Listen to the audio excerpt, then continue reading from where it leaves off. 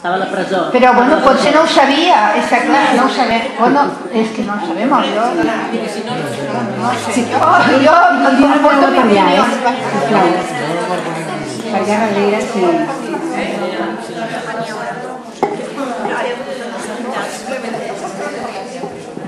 Sisplau. Ja?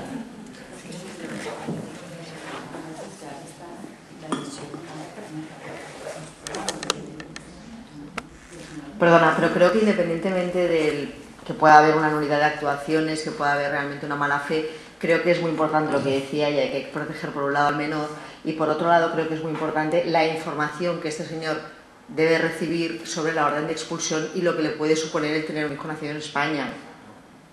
Creo que ahí eso es un... O sea, cuando alguien tiene una orden de expulsión, se agarra con uñas y dientes a lo que puede. Entonces, claro, realmente mm, hay que sopesar. Y si este señor está informado y ve que realmente pues, puede tirar eso adelante y que eso le puede arraigar a España,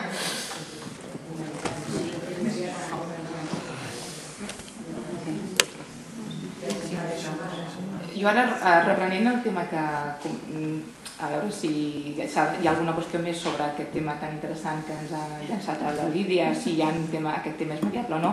Jo ara voldria reprendre un altre cop el cas tan interessant que ens ha presentat, el, bueno, que ens ha explicat el company Antonio, del tema de que s'ha trobat aquest conveni de mediació. I llavors també manifesta que en alguns jutges comentant doncs eh, així parlant de la mediació, em diuen és que jo encara no entenc perquè els mediadors no ens podeu també passar una còpia dels acords de mediació intrajudicial.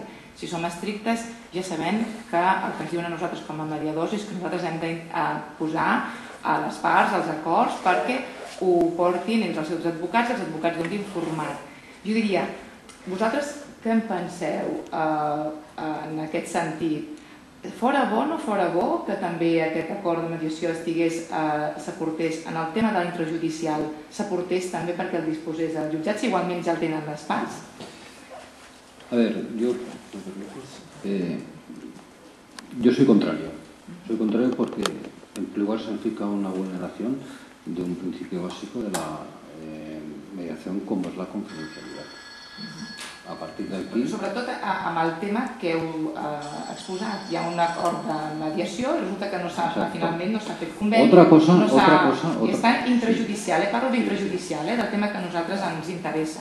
Otra cosa, eh, sí, he escuchado a, a Albert por el, el Pacta sunt servanda, rebus estantibus, todo esto, todos estos latinazos, pero a ver, yo entiendo que aquí, evidentemente, el tema lo tengo que estudiar, ¿no? Pero entiendo aquí de que todo esto será en fase de ejecución de, de la sentencia y la audiencia, el utilizar este acta de mediación como valor probatorio que le pueda dar al juez a efectos del reparto de los lotes las, adjudicaciones que yo pueda pretender. Pero claro, esto es como cuando nos encontramos con un convenio regulador firmado por las partes, pero no ratificados en el juzgado, y luego hay un procedimiento contencioso. Claro, ahora el libro segundo, el proyecto libro segundo, va a regular estos pactos prematrimoniales. Hasta ahora no. ¿Qué valor damos?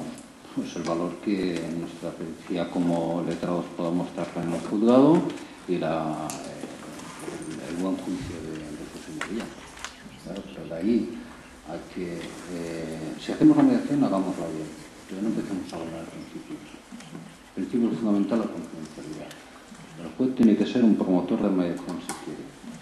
Pero al juez, si hay un acuerdo, demos esa forma jurídica y se lo decimos. Pero no le podemos decir, mire, ha habido un acuerdo, luego si se presenta bien y si no también, pero que lo sepa. No. El juez nos parte del proceso. Jo, jo també crec que primer és confidencial i segon la forma jurídica li queda donar l'advocat. Si arriben a un acord i després d'aquest acord els advocats no la porten al jutjat, serà per alguna I si la porten després que surt sentència serà perquè a ningú li agrada la sentència i ara prefereixen l'acord. Vull dir, a veure, cadascú amb els seus actes, eh, no sé, eh, vull dir, a vegades tampoc t'ho expliquen eh? Sí, aunque sea más latín, lo siento, pero eh, Hay un principio que dice, quod not est in autus non est mundo. O sea, aquello que no está en las actuaciones judiciales no existe para el juez. El juez no tiene obligación de conocer algo que a él se le esconde, sea en, base al principio de confidencialidad, que es eh, muy legítimo por otra parte, pero lo que eh, en palabras del Supremo tendría que ser quién debe pechar con las consecuencias de que usted no legitime, que usted no lo pase por el juzgado aquel acuerdo que usted ha preferido esconder. Las consecuencias que se deriven del hecho de que no haya pasado por el juzgado tienen que ser para las partes, punto. Si eres bastante adulto como para no llevarlo al juzgado, a pesar de ser una derivación una mediación intrajudicial, pues tendrás que ser consecuente con tus eh, propios actos. Y creo que aplico principios generales del derecho, la teoría de los actos propios. Entonces, aquella parte que por el transcurso del tiempo o porque ha cambiado de parecer o porque ha visto perjudicado su interés en alguna medida considere que puede ejecutar un auto de medidas, por ejemplo, previo que hubiese o una sentencia que en su día se dictó en primera instancia, etcétera, pues tendrá que padecer las consecuencias de sus propios actos. Otra cosa es las materias eh, de orden público, aquello que afecte a los menores, aquello que sí que realmente debiera conocer el juzgado y intervenir el Ministerio Fiscal. Y sobre este extremo mi parecer es que eso sí que debiera al menos quedar reflejado en las actuaciones judiciales de las cuales dimana la mediación a las que las partes han acudido.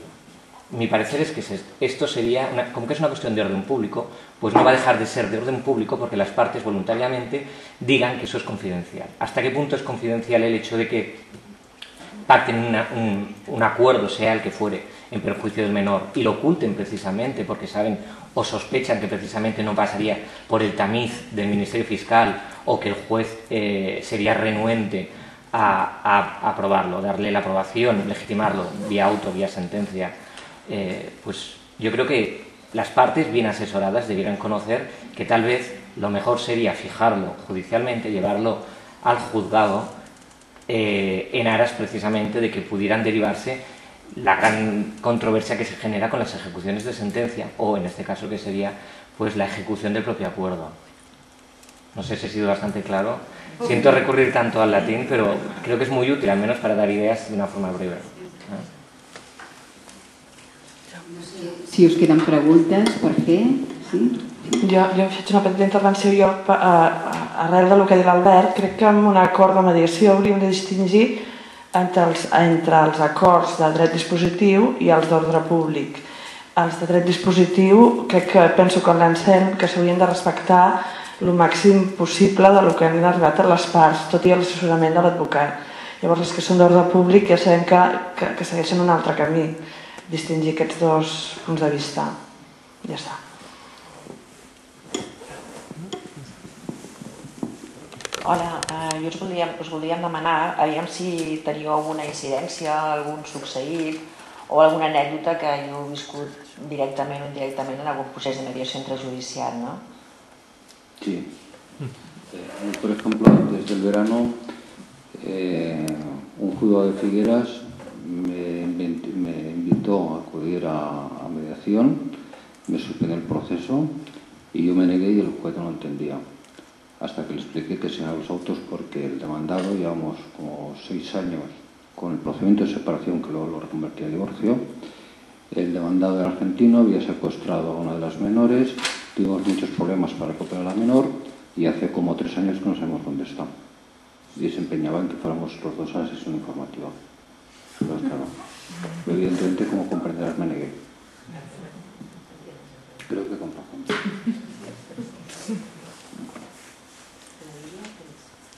Alguna?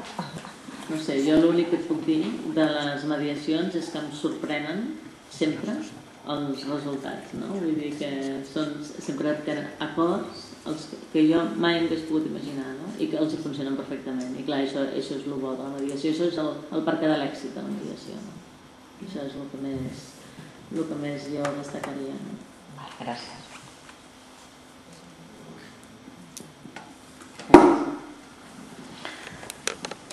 No sé si, si es dona eh, el tema aquest, però mm, jo una vegada he sospitat que, que sí. És que una vegada que hi ha la sentència ferma, les parts no estan d'acord amb la sentència, arriben a mediació, no, no medien per diferents motius que aliances o lealtats, etc. no compleixen la sentència i ells tenen uns acords implícits que es faran i que ho continuen fent. Ni fan la sentència del jutge ni fan... Vull dir que fan el que ells en cada moment les està venint bé. Jo és una de les realitats que estic veient, no? Vull dir, ara, eh, sí, el nen tants dies, ara tal, l'altre, ni, és, ni visc a la casa que em diu el jutge, ni visc al no sé què. Vull dir, i jo el que veig una mica la, la realitat, vull dir, que a vegades és aquesta, no? que ni, ni la sentència ni tampoc formalitzar res, perquè poder estan... És que, No? és que Ah. el conveni i la sentència només s'han de mirar si no hi ha acord. Si estan d'acord amb tot, què més dona el que posa? lo- lo ideal és només en cas de. Són acords que tampoc estan, no és que estiguin d'acord, sinó que ja regulen la relació en funció dels seus interessos, no? Perfecte. És l'ideal. Bé, jo, jo volia també aportar, vull dir, ja que penso que ha sigut, mm, han sortit coses molt interessants i que tots coincidim, la falta d'informació, la falta de coneixement. Portem molts anys implementant la mediació, però encara tots estem d'acord en que falta, tal com els ponents d'avui ens han tornat a ratificar, falta molta informació per tots els operadors jurídics de què és la mediació. Jo sempre, com aquí, sempre eh, tenim la consigna que aquí som tots mediadors, vinguem de la formació de base que vinguem, i que aprofitem el que aportem. I sempre diem que hi ha situacions eh, quan es pot fer mediació i quan no. Eh? I amb el, de fet és un debat que això surt i, i ho podem saber, podem limitar. Home, hi ha situacions molt clares que quan realment doncs, hi ha una... eh, Aquí la- l'Antonio ho ha comentat, quan realment hi ha un decalatge no? De, de poder entre una per l'altra ja ho veiem molt clar que en aquests casos aturaríem la mediació si és que ens l'han passada però no ho faríem. No? Però en situacions que a vegades porten molt temps dintre del, de, dels jutjats, que eh, hem tingut situacions que porten anys, no? i que, a vegades és veritat que no? quan, quan te'ls envies no acabes d'entendre i que un dels punts molt importants del mediador abans de veure si és adequat, i això ho, ho visquem, tant penso que tant la Núria com jo amb les informatives, abans de veure si la mediació és adequada o no, de fet ho diem en l'informativa, aquesta serà perquè vostès coneixin, si no és que ja no ho coneixen, que és la mediació, i per de- decidir entre els tres si la mediació els hi pot servir o no. I a vegades ens trobem situacions que d'entrada te- t'escandalitzen, no? Però quan comences en, en situacions d'aquestes que porten molts anys que no pots fer la informativa junta, ni molt menys, eh? són informatives separades. I que a vegades et trobes doncs, això, pares que porten 7, 10 anys que no s'han dirigit la paraula. I clar, només de pensar eh, com poden ells haver pogut exercitar de pares sense una comunicació de tant temps. No? I que el que els estan oferint és algo diferent. Llavors jo sempre dic, abans d'edició o no la mediació, fem un diagnòstic del conflicte des de la perspectiva del mediador. Fem un diagnòstic de conflicte i, i quan partim, fem aquest diagnòstic, això suposa a vegades una o dues sessions, és cert, no? Però fins que no tinguem un diagnòstic del conflicte, no, no, d'alguna manera no traiem aquesta oportunitat que de fet, si ho proven i no, i no passa res, no passarà res, però si ho proven i va bé, potser produïm un canvi. Va, jo volia deixar vull dir, aquesta, aquesta idea. Bueno, yo quería agradecer a todos lo que, lo que habéis aportado porque a mí se me ha, me ha- me ha supuesto un gran enriquecimiento, como creo que los que están aquí. O sea, quizá esto que decías tú, ¿no? de la vivencia, que yo al principio, a la primera pregunta que he hecho, no lo he destacado suficientemente. O sea, el lograr que, eh, te- que se tenga esa evidencia de la medición, como que los resultados a priori no se pueden conocer y que solo quien se arriesga, ¿eh? quien se arriesga a precisamente eh, entrar en un procedimiento nuevo, que no es simplemente ¿eh? que puedan dar cuatro gritos, sino que es un cambio de posiciones, que un poco como en el caso que tú has planteado, esas personas que nos han hablado hace mucho tiempo, que van desde el amor al odio, pues pueden eh, encontrar un pequeño acuerdo, un mínimo acuerdo que les hace posible eh, que a lo mejor como padres que no se hablan desde hace 15 años, eh, mm, recuperen algo que ni todas las leyes del mundo ni todos los latines pueden resolver. O sea, a mí me parece que, esa es, entre comillas, la magia, pero de magia nada, porque somos muy profesionales, del mediador, mm, venga de, la profesión de base, que venga, que yo no soy psicóloga, de base, eh, ni, ni, abogado, con lo cual ni, ni educador social. Así que queda solamente una profesión de las que están aprobadas. ¿eh? Pero también como, como esto, ¿eh? dejo esa interrogante, mm, pienso que, somos profesionales de la familia y de que queremos que haya una posibilidad de que se respete el derecho, el derecho, ¿eh? el derecho que no queremos ir contra nadie, menos contra el menor, pero que sí que las personas tengan su protagonismo, y que más allá de lo que se pueda eh, eh, tener en cuenta de, unos y otros y además que el, abogado debe ver los acuerdos antes de que se juridifiquen, es, es, prudente, pero el protagonismo es de las partes y siempre que se pueda respetar su vocabulario, ¿no? tanto el contenido como el tema del propio vocabulario, quitar todo lo que es mm, erudito, ¿no? entre comillas, sin quitarle imprecisión, no sé yo quería decir esto y la verdad me quedo tranquila dando eh, las gracias a cada uno de los que han participado. Aquí Paco, Paco dirà.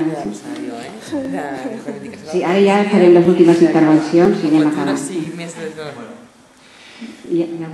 No, eh, de, bueno, hay un par de intervenciones que me parecen interesantes el poder profundizar un poquito más. ¿eh? Y por eso os pediría un poco que a ver si nos podéis un poco ayudar un poquito más por una parte, eh, Lidia nos eh, decía que, bueno, cómo se van a implicar más los abogados, pues es cuando realmente se vea que funciona.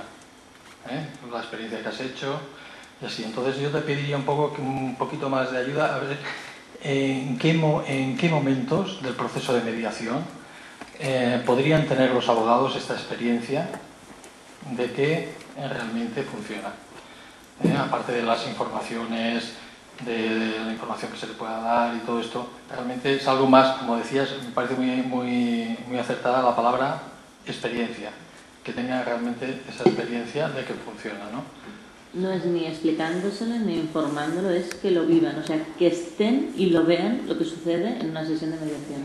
¿En qué, momentos? En, cuando, el proceso de mediación? Sí, ¿en qué momentos? cuando en la sesión, cuando están hablando las dos partes, cuando las, las partes proponen los acuerdos, cuando ves que uno propone algo de una manera que tú a lo mejor lo, lo habías comentado y, y, era no, pero ahora parece sí. O sea, es la comunicación entre ellos, los gestos, la manera de hablar, la manera de decir y que consiguen llegar a acuerdos que los abogados no consiguen. Y en ese sentido, un poco ahondar en lo que nos comentaba. ¿Cuál es tu nombre? Ferran. Ferran eh, que me parece muy importante, ¿eh? digamos, el papel que tiene, la relación que tenga el mediador con los abogados en el proceso de mediación.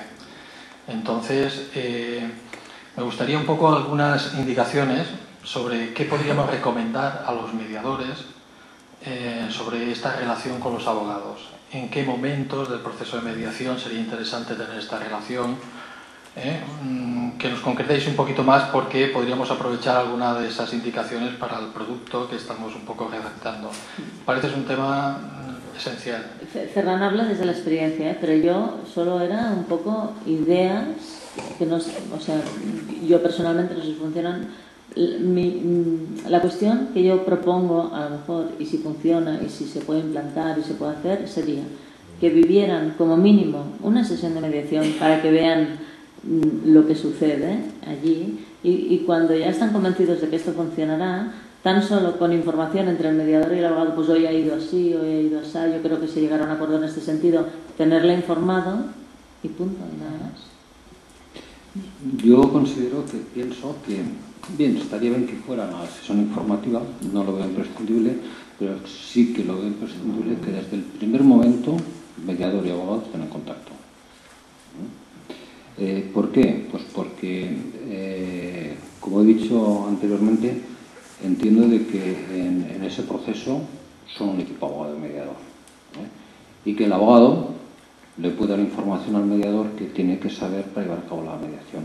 Oye, no me toques el tema de la guardia y custodia, tócame el tema patrimonial, que quizá por ahí vamos bien. Como mínimo, creo que podemos conseguir un acuerdo, parcial y de ahí iremos al total. Pues empezamos ya a hablar de guardia y custodia la madre está muy negativa, correctiva. Es decir, esta información, ¿eh? que no, eh, el mediador creo que para hacer su trabajo la, necesita. ¿eh?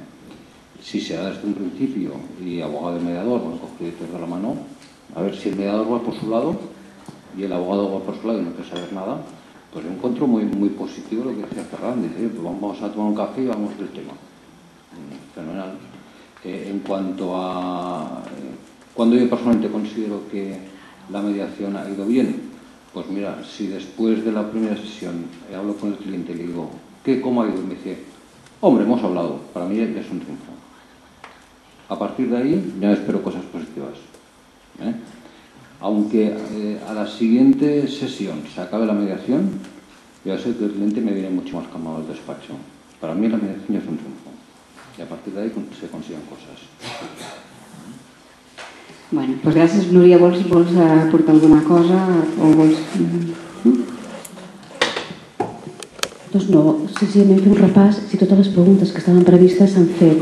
Si algú té la sensació de que alguna pregunta no s'ha fet, potser no és, el moment, eh, és el moment de recordar-la i si de cas la reprenem o la podem reprendre a través de, de, de Catalunya. És a dir, no seria el moment de fer-la perquè ara ja és el temps i hem de finalitzar, però dir, fa, i queda alguna cosa pendenta, la verbalitzem i mirem de posar-la en el foro i potser podem convidar els ponents o enviar-los un email, escolta, que va quedar això a, a, a pendent, no? Hi ha sensació de que queda pendent alguna cosa de les preguntes que s'havien preparat? Sí. Agafem l'anunciat i fem aquesta idea sí, tan bona que diu l'anunciat, d'acord? Sí? Eh, al marge és que no estava com pregunta, però sí m'ha cridat l'atenció el fet de la comunicació del mediador amb l'advocat. Uh -huh. Perquè seríem tots dos advocats, en tot cas. ¿no? Bueno, a ver, claro, claro, evidentemente. A ver, y, y, depende del cliente que tengan, hay la posibilidad de que uno estire para un lado y el otro para el otro. Si el mediador tiene que estar en no me toques la custodia porque mi cliente está sensible o no me toques el niño porque el cliente está sensible, ¿dónde queda el mediador y su no, pero a ver, pero evidentemente estos son... Eh, a ver, yo al mediador le puedo decir no me toques la, el tema de la custodia, al otro lado puedo decir tócame todo. ¿eh? Yo creo que ahí tiene que ser el mediador cuando está haciendo la mediación. ¿eh?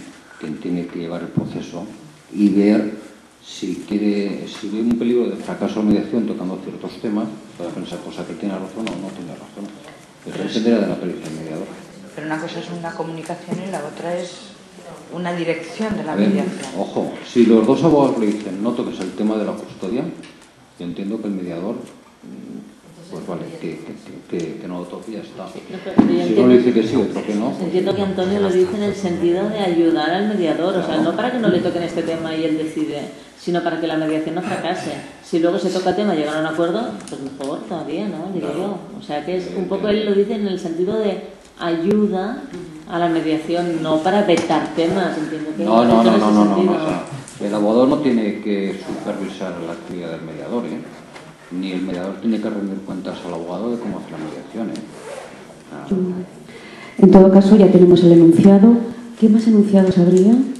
¿Qué sensación de quedar pendiente? Sí, había... Y lo ponemos en, en, en, la red. Sí, yo querría uh, bueno, preguntarles a ver si ellos piensan que desde los colegios de abogados se podría hacer alguna cosa para fomentar más la mediación intrajudicial entre la judicatura. Se está haciendo. Bueno, yo hablo por, por mi colegio. Ahora tomamos nota de los temas ¿eh? y entonces los vamos a colgar y vamos a responder a partir de ahí. Vale. ¿Más temas? Que... Más temas. Abundando lo mismo, yo quería preguntarles también si piensan que desde el Centro de Mediación Familiar podría hacerse alguna cosa más o, bueno, o modificar alguna cosa que se hace también para fomentar la mediación intrajudicial se recogen también estas ideas, a ver, ¿eh? lo ponemos en la lista, estupendo, sí, sí, sí. Es decir, todo sugerimiento es bueno, estamos ahí, ¿eh? ¿Más temas? Bueno, pues eh, aquí, sí? Sí? Vols afegir-ne? Sí? Ja anem, anem tancant ja, perquè sí. realment ja hem fet... És, és no, nada. No, no, solamente es una pequeña sugerencia a raíz de todo lo que se ha dicho. Y de un factor que es primordial, que me parece que todos hemos experimentado, y es la falta de información que tienen los abogados respecto a lo que es el proceso de mediación. Entonces, de la misma forma como se trata una, informa, una sesión informativa para, los, para las partes que han de mediar, sí no sería conveniente prever una sesión informativa para los abogados de les partes que han de mediar també. Va. Pues agafem aquest suggeriment també i posem aquesta qüestió. Gràcies. Bé, ara sí, donem per finalitzada la sessió d'avui. Moltes gràcies als dos ponents, Lídia i Antonio, i a tots els, a tots els que heu participat. Eh? Ens veiem. Gràcies. Moltes gràcies.